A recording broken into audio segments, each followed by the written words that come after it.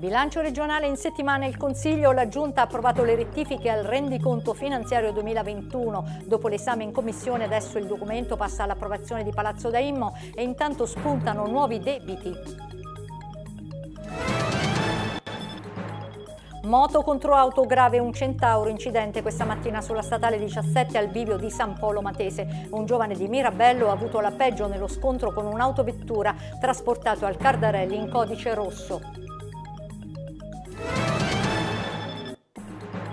Turismo, primi bilanci della stagione estiva che si sta concludendo intanto le temperature più miti non fermano i turisti della domenica, molti in spiaggia a Termoli. Cane picchiato, sdegno sui social, nuovo caso di violenza su un animale a Campobasso. Una lagottina di 14 anni sarebbe stata picchiata brutalmente dal proprietario. Interviene la Leida, venga allontanata dall'uomo.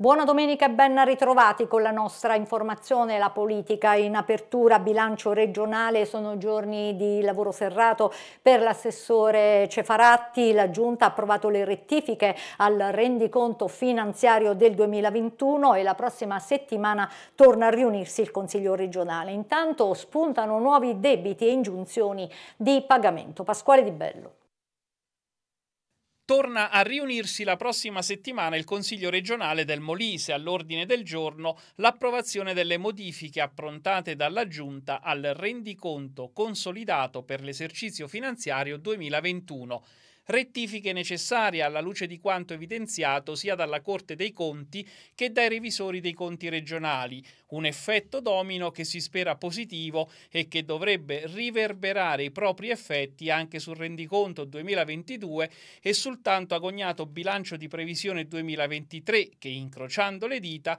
dovrebbe arrivare in aula entro fine mese o al più tardi la prima settimana di ottobre. L'assessore Cefaratti non molla la presa e con una tigna da Mastino sta scandagliando ogni singola posta, conto, capitolo, paragrafo dei documenti contabili regionali, un compito arduo che dovrebbe produrre il risultato di rimettere in carreggiata la locomotiva regionale e dare finalmente il via al viaggio di questa legislatura.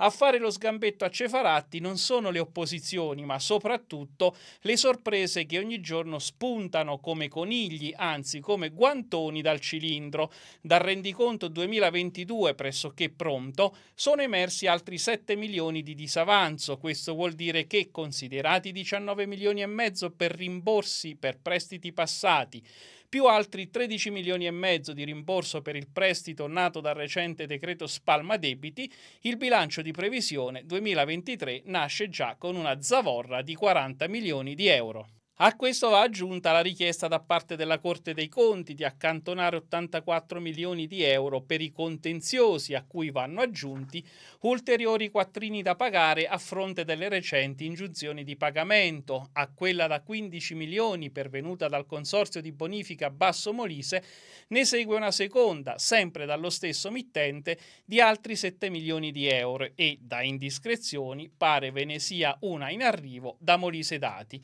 Insomma, Insomma, anche se nessuno vorrebbe essere in questo momento nei panni di Cefaratti, lui, l'assessore al bilancio, non molla. Ce la faremo, dice fiducioso al telefono.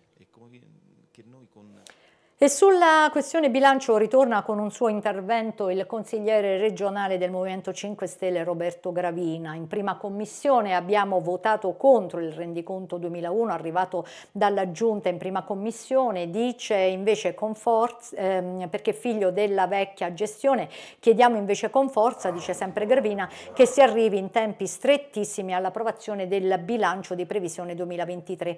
Imprese e comuni non possono più attendere per i pagamenti pagamenti e i contributi dovuti.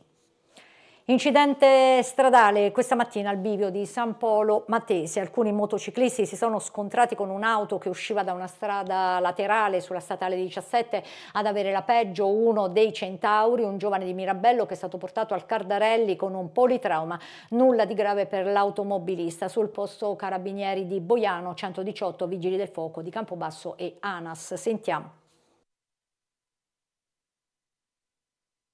Probabilmente avevano in mente di trascorrere una domenica di svago sulla quattro ruote i quattro motociclisti molisani che poco dopo le nove stavano percorrendo la statale 17 in direzione Boiano, ma arrivati al bivio di San Polo Matese si sarebbero trovati di fronte, questa la prima ricostruzione, un'auto che li ha presi in pieno.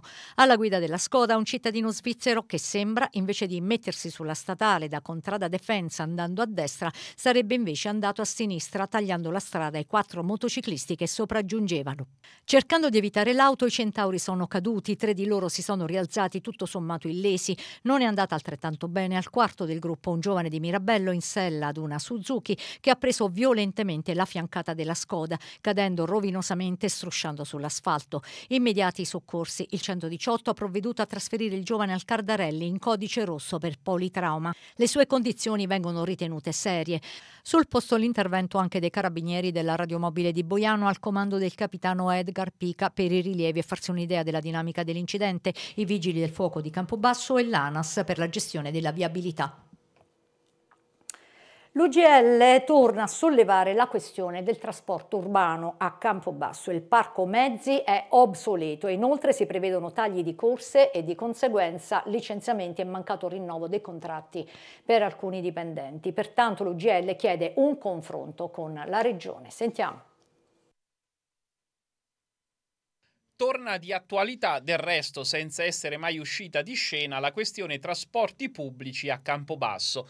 A riprendere il tema è stata la UGL Autoferro che è intervenuta attraverso il segretario provinciale Nicolino Libertone. È urgente, dice, rinnovare il parco macchine. Allo stato attuale è il parco autobus che è vecchissimo e non si rinnova, si fa scarica barile tra Regione e Molise e Regione Molise. C'è da dire che il fondo del TPL, che sarebbe il fondo che il Ministero dei Trasporti nazionale trasferisce alla Regione Molise, è unico.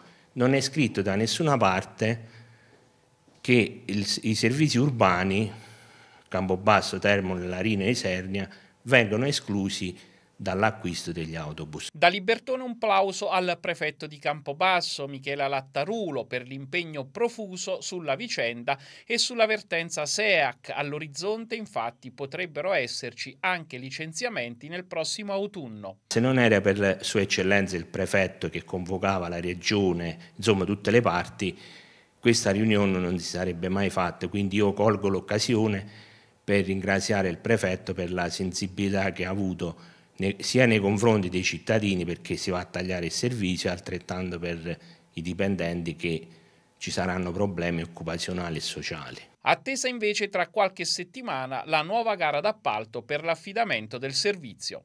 Eh, l'assessore Credelle ci ha detto che il 15 si dovrebbe concludere l'iter del bando di gare, quindi attendiamo quello che succede per il nuovo affidamento del bando di gara. 762.000 giovani al di sotto dei 34 anni hanno lasciato le regioni del sud per cercare il lavoro al nord o fuori dall'Italia. Tra questi quasi il 18% sono molisani. Tra le province che hanno risentito di più di questa immigrazione, Isernia è al terzo posto. Lo studio è della CGA di Mestre. Sentiamo. Calano i giovani nel mondo del lavoro e gli under 34 sono diminuiti soprattutto nel mezzogiorno. A denunciarlo è l'ufficio studi della CGA che ha evidenziato soprattutto che la contrazione della popolazione giovanile italiana ha interessato in particolar modo il mezzogiorno. 762.000 unità andate via dalle loro case. Qualche sofferenza anche al centro, ma sicuro più contenuta, 160.000 giovani in meno. Cifre molto più basse a nord-ovest e a nord-est. A livello regionale invece è stata la Sardegna a subire le le perdite più importanti insieme alla Calabria, ma subito dopo si piazza il Molise, dove manca all'appello un 17,5% di under 34. A chiudere la triste classifica Basilicata e Sicilia. A livello provinciale, infine, la realtà che negli ultimi dieci anni ha registrato la diminuzione più importante è stata Oristano, Isernia con il meno 22,2% e Cosenza. Segni più solo nelle solite Trieste, Bologna e Milano. La fuga dei giovani da alle loro città di appartenenza si sommano al drastico calo della natalità e i numeri diventano allarmanti, segnando il futuro dell'Italia come paese sempre più vecchio. I giovani vanno via soprattutto in cerca del lavoro che non trovano e occasioni di vita migliori e a questo proposito, suggerisce la CGA, servirebbero centri dell'impiego strutturati in maniera diversa e più efficiente. Inoltre, con il coinvolgimento anche delle Camere di Commercio, bisognerebbe accelerare il processo di avvicinamento tra scuola e mondo del lavoro, incrementando gli investimenti sugli istituti tecnici e sulla qualità della formazione professionale, materia quest'ultima di competenza delle amministrazioni regionali. Piccoli carabinieri crescono, lodevole iniziativa a Trivento dove 44 bambini tra i 6 e i 12 anni hanno visitato il comando stazione dei carabinieri. Ad accompagnare i ragazzi, oltre ai professori Giovanni Alfieri e Michela Scurtu e al vice sindaco Sandra Stinziani, il comandante della compagnia di Boiano Edgar Pica e quello della stazione di Trivento Francesco Nobile. I bambini che hanno assistito alla proiezione di un video sull'attività dell'arma sono restati entusiasti dell'incontro. La visita rientra nel progetto Cultura della legalità promosso dai Carabinieri. L'uomo che ieri mattina si era denudato davanti ai passanti nei pressi della stazione ferroviaria di Isernia, dopo essere stato trasportato in ospedale, è riuscito ad allontanarsi rubando un'auto parcheggiata. Rintracciato subito dopo dagli agenti della questura di Isernia, è stato fermato a Sant'Agapito dove vive. Oltre al reato di atti osceni, ora è indagato anche per furto d'auto. La stagione estiva volge ormai al termine e a Termoli è tempo di eh, tirare i primi bilanci. Sullo sfondo i balneatori, mh, mm, per i balneatori rimane ancora da sciogliere il nodo sulle concessioni demaniali. Sentiamo Francesca D'Anversa. Terminato agosto e con l'avvicinarsi della chiusura ufficiale della stagione estiva si cominciano a fare i primi bilanci di questa calda estate 2023 a Termoli, dove se le presenze a giugno hanno fatto registrare un calo a causa del maltempo, c'è stato un recupero nei mesi successivi, soprattutto nei weekend, mentre nei giorni infrasettimanali si è registrata una diminuzione del 30% rispetto allo scorso anno. Mesi di luglio nei weekend si è lavorato bene, fortunatamente, mentre nel, nell'infrasettimanale comunque eh, c'è stato un calo rispetto allo scorso anno. Agosto per fortuna è stato un buon agosto, stato, eh, si è lavorato abbastanza, quindi eh, ovviamente non si recupera quello che è stato perso nei mesi precedenti, però comunque eh, non c'è stato nessun tipo di problema, visto che anche le condizioni meteo sono state favorevoli. Diciamo i clienti fissi, lo stagionale comunque sono rimasti gli stessi. Eh, la cosa che abbiamo notato quest'anno quest'anno eh, sicuramente una presenza di turisti stranieri in più rispetto anche scorsi, al, allo scorso, agli scorsi anni, eh, quindi siamo fiduciosi che questo incremento di stranieri possa avere in futuro sicuramente uno, uno sviluppo positivo.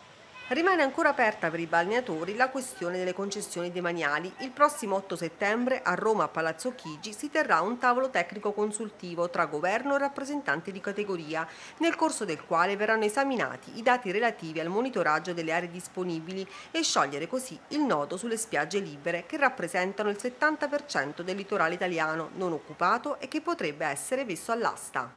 Siamo fiduciosi che dopo questo terzo ultimo o penultimo incontro eh, tra le associazioni di categoria e vari rappresentanti di enti eh, statali nazionali si possa trovare una soluzione. La strada è stata intrapresa, ovviamente noi chiediamo di che venga eh, abrogata la legge Draghi fatta l'anno scorso in modo molto pasticciato e che quindi si faccia una nuova legge eh, che garantisca e tutela gli interessi eh, sia dei clienti della balneazione italiana e sia degli imprenditori che hanno investito nell'ultimo secolo.